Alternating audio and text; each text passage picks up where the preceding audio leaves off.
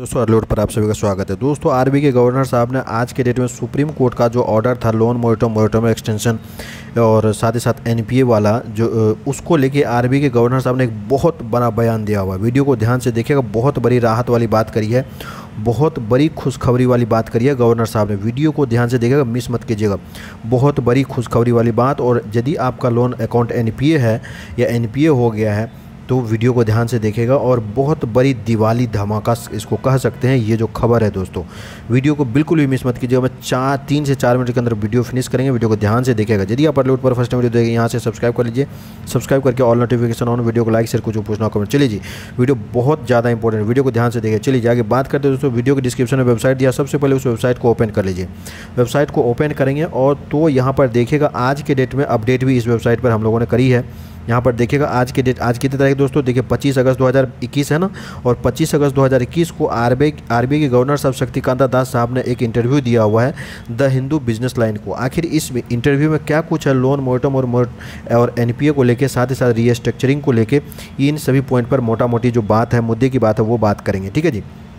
चलिए, इससे पहले आगे बढ़ते हैं दोस्तों। सबसे पहले बात करेंगे, यदि आप ऑनलाइन अर्निंग करना चाहते हैं, यदि आप कुछ सीखना चाहते हैं, आपकी लाइफ में प्रॉब्लम है अर्निंग जॉब नहीं है बिज़नेस नहीं है, या बिज़नेस है भी, या जॉब है भी तो उतनी सैलरी नहीं है जितना पहले था तो आप पार्ट टाइम फुल टाइम या फिर आप ऑनलाइन अर्निंग करना चाहते हैं तो या आपका लोन से रिलेटेड क्रेडिट कार्ड से रिलेटेड किसी भी तरह की समस्या और साथ साथ अर्निंग वगैरह करना चाहते हैं, करना तो चाहते हैं तो आप यहाँ पर देखिए, पंद्रह सौ से सर्विस स्टार्ट है। इसमें आप आपको आपके लोन से रिलेटेड क्रेडिट कार्ड से रिलेटेड सिविल स्कोर से रिलेटेड या लोन से रिलेटेड किसी तरह की या किसी भी तरह का, किसी भी तरह की कोई समस्या है।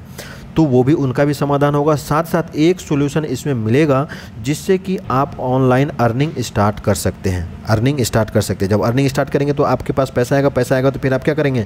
लोन और क्रेडिट कार्ड का जो बिल है, जो ईएमआई है, वो भरेंगे। चलिए जी वीडियो के डिस्क्रिप्शन ये वेबसाइट है, उसको ओपन कर लीजिए। अब हम पेज को ऊपर कर दीजिएगा। इधर आपको मिलेगा यहाँ पर, देखिए E C L G S four point zero वाला आपको पैराग्राफ मिलेगा। ठीक है जी? इस पैराग्राफ के नीचे, देखिए फोर पॉइंट ज़ीरो के नीचे आपको, देखिए, ये वाला पैराग्राफ मिलेगा, जो आज के डेट में अपडेट किया गया है। यहाँ पर देखिएगा, जब आर के गवर्नर शक्तिकांता दास साहब से जब पूछा गया, जो आप एन को लेकर मामला कुछ क्लियर नहीं है तो जबकि लोन रीस्ट्रक्चरिंग को लेके, ठीक है? ठीक है ना? यानी एनपीए का जो आंकड़ा है, इनको क्या हाइड किया गया, इनको छुपाया गया क्या? लोन रीस्ट्रक्चरिंग जब किया जा रहा था तो ठीक है ड्यू टू लोन रीस्ट्रक्चरिंग के कारण। तो इस पर गवर्नर साहब ने बयान देते हुए कहा कि हम लोग इस पर छुपाने की कोई बात ही नहीं है, कोई मैटर ही नहीं है इसको छुपाने का, इसको डिक्लेयर नहीं करने का। यहाँ पर मामला क्या था? देखिए, सुप्रीम कोर्ट से एनपीए करने को लेकर रिस्ट्रिक्शन लगा हुआ था स्टे ऑर्डर था। स्टे ऑर्डर लगी थी ना? सुप्रीम कोर्ट ने क्या ऑनरेबल सुप्रीम कोर्ट ने कहा था, जब तक हम कोई अंतिम फैसला नहीं देते, तब तक एनपीए का क्लासिफिकेशन होगा ही नहीं। तो जब क्लासिफिकेशन ही नहीं होगा तो फिर एनपीए का डाटा कैसे आएगा?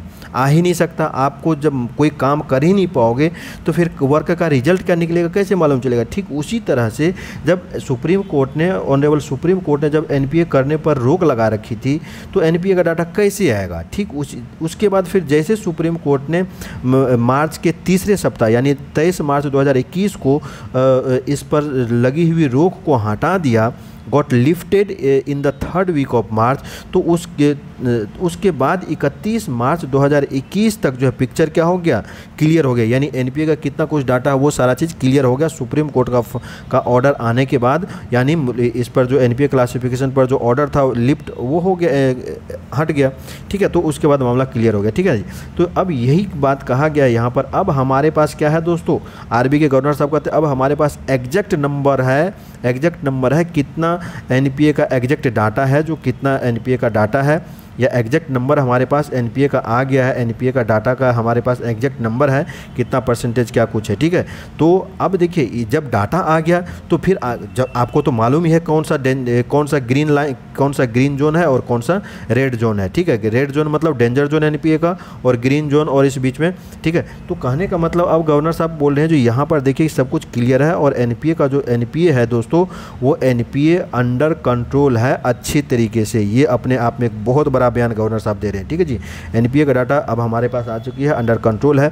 इसका मतलब ये हुआ जो जब सुप्रीम कोर्ट का ऑर्डर लगा हुआ था तो कोई भी बैंक एन आपके लोन को एनपीए नहीं कर सकती है। जब एन नहीं कर सकती है एनपीए होगा ही नहीं तो फिर आपको टेंशन लेने की कोई ज़रूरत नहीं है। इसी के साथ वेबसाइट दी हुई है पढ़ लीजिएगा वीडियो करते हैं फिनिश थैंक यू